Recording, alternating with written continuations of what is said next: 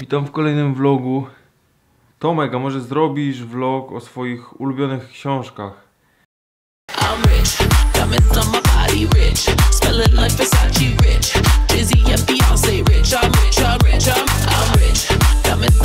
Body rich. Smelling like Versace rich. Dizzy and Beyonce rich. I'm rich. I'm rich. I'm rich. I'm rich. I'm rich. I'm rich. Diamonds on my body rich. Smelling like Versace rich. Dizzy and Beyonce rich. I'm rich. I'm rich. I'm rich.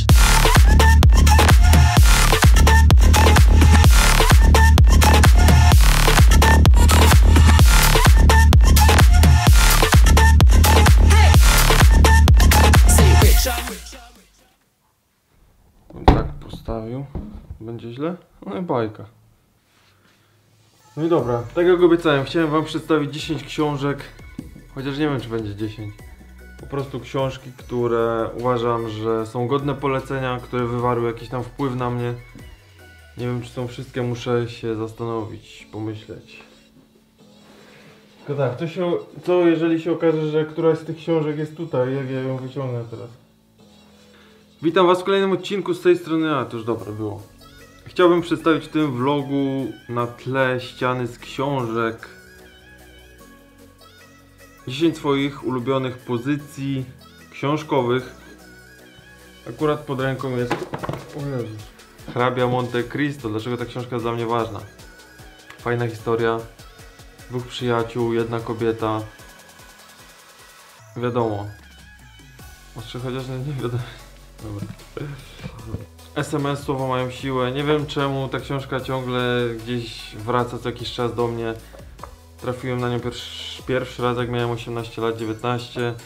Historia prosta, banalna, ale no ciekawa. Jest to książka w formie SMS-ów, gdzie chłopak zauważa na mieście dziewczynę, zdobywa do niej numer, zaczyna pisać. Ym, Ukrywa się pod pseudonimem Miś. No a co jest dalej, tą odsyłam do książki, jeżeli kogoś to interesuje. Martin Eden, Jack London. Niby historia taka, o, ale coś mnie urzekło w tej książce. Mm, musiałem przebrnąć przez pierwsze kilkanaście stron, a później mnie wciągnęła, także kiedy pomyślałem o jakiejś książce, którą warto mm, polecić, to Jack London nasunął mi się jako pierwszy. Chociaż nie, może nie pierwszy, ale no, polecam. Kolejna książka. Michał Sebastian, Cegła, podrapana przez kota. Yy, bardzo szczery dziennik. Jeżeli ktoś lubi yy, zapiski tego typu, to polecam. Michał Sebastian.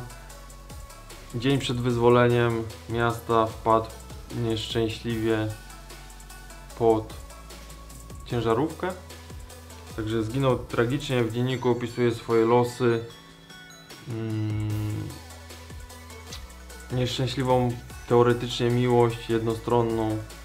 Także no też polecam. Ja nie, nie umiem opowiadać o książkach, po prostu trzeba spędzić z książką trochę czasu. Kolejna książka, czyli moje top 3, nie wiem czemu. Generalnie łapię się na tym, że jaram się jakąś książką, a właściwie wyobrażeniem o niej z czasów, nie wiem, 10 lat do tyłu. Tak jest chyba z nią. Nie wiem, muszę do niej wrócić, muszę przeczytać ją jeszcze raz teraz, po 10 latach, bo kiedy miałem 20 lat wywarła na mnie duże wrażenie. Dlatego ją zawsze polecam. Jest to Jan Guillot Zło. Na podstawie książki powstał film. Mm, Historia 17-letniego Eryka, który zostaje wydalony ze szkoły, ponieważ był przywódcą e, młodzieżowego gangu. Mm, Jego mama wraz z ojczymem sprzedają e, drogocenne rzeczy, żeby chłopak mógł trafić do e, prywatnej szkoły, z tego co pamiętam, żeby tylko skończył. E, Kiedy Eryk tam trafia, jeszcze nie wie o panujących zasadach. Jego kolega z pokoju, który jest jego przeciwieństwem, czyli e, sympatyczny grubasek w okularach, którego interesuje tylko nauka. Erik jest młodym, wysportowanym człowiekiem, który mm, no też lubi czytać książki, lubi się uczyć, ale bardziej interesuje go chyba sport. I kiedy Erik tam trafia i dochodzi jakby do niego, co się tam dzieje, postanawia się zbuntować i przeciwstawić się jako pierwszy mm, temu samemu wychowaniu przez uczniów ze starszych klas, także mi się podobała, wiadomo, to jest taka literatura powiedzmy męska, gdzie jest przemoc, brutalne opisy, no ale na końcu i tak jest wątek miłosny. Kolejna książka są to szkice piórkiem. Jakoś czytam tę książkę, tutaj zobaczcie, już na którymś vlogu e, z poprzedniego urlopu zacząłem, ale zaczynam 5 książek naraz, więc ciężko mi skończyć. Fajny dziennik, może nie jest to top 3 moje, ale na pewno warto zwrócić uwagę na tę książkę. Rzeczy, których nie wyrzuciłem, Marcin Wicha, książka mocna, cienka, ale jakże treściwa. Umiera mama autora, który zaczyna porządkować jej rzeczy. I to jest swego ro- ro- to jest swego, już chcę coś mądrego, to się plączę. To jest swego rodzaju podróż w czasie, kiedy yy, syn wchodzi do mieszkania mamy i zostają tylko po niej rzeczy, a każda z nich przypomina mu yy, jakieś konkretne wydarzenie związane z mamą. Yy, trudna relacja. No i takie rozliczenie, wydaje mi się, z przeszłością i ze sposobem wychowywania syna przez matkę. Także polecam rzeczy, których nie wyrzuciłem. Autor, którego pokochałem jako nastolatek, ponieważ mi imponował, tak? Te szemrane towarzystwo, e, przemoc, e, warszawski slang. Młodego chłopaka to fascynowało. Teraz to patrzę na to trochę inaczej, ale i tak Stanisław Grzesiuk zawsze ważnym autorem jest. Boss ale w ostrogach, opis dzieciństwa, czasy przedwojenne, 5 lat kacetu, czyli Grzesiuk w obozach koncentracyjnych. Na marginesie życia, czyli Grzesiuk trafia z podejrzeniem gruźlicy do sanatorium. I tam walczy z chorobą, którą przegrywa ostatecznie po czasie. A w ogóle chciałbym zacząć od jednej bardzo ważnej książki, bez której nie mógłbym zrobić tego filmu. Książka, która wywarła na mnie ogromne wrażenie. Yy, Od tego zaczęła się moja cała przygoda z literaturą. Mm, No co tu dużo mówić, tak? Nie no, żartuję. Nie wiem. Aha, jeszcze. Charles Bukowski. Bukowski w moim sercu zawsze. Jestem dumny z tych małych książeczek. Kobiety, książka, która mnie zaszokowała, książka, która z jednej strony mi otworzyła oczy, książka, która pokazała mi jak może wyglądać życie.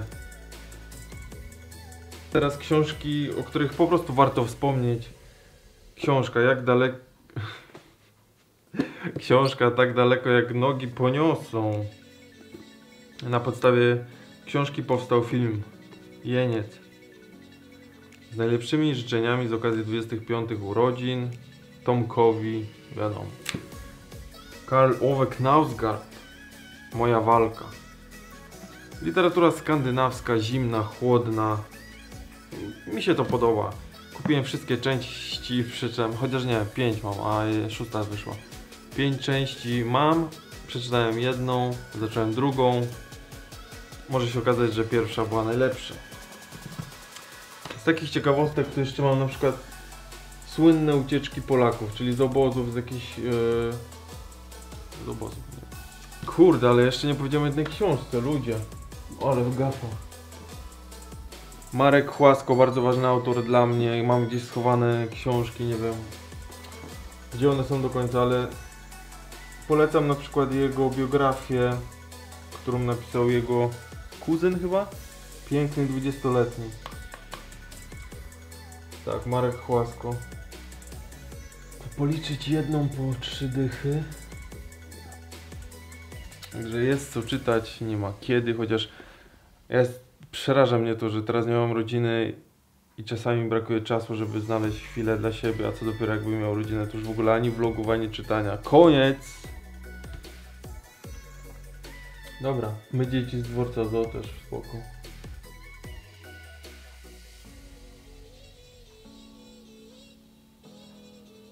Król. No, praktycznie każda książka ma coś w sobie. Dobra, to był kanał po 30 książkowy dla wszystkich moli książkowych i osób, które lubią czytać. Dziękuję, pozdrawiam, trzymajcie się w kolejnym odcinku. Nie wiem, może też książki? Zobaczymy.